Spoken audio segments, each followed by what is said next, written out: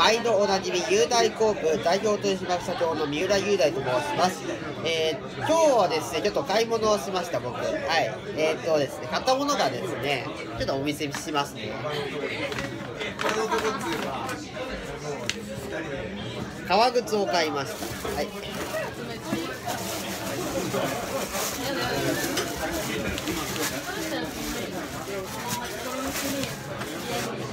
れです。はい。見えるかな？はい。いい。ちょっと革靴を買いました。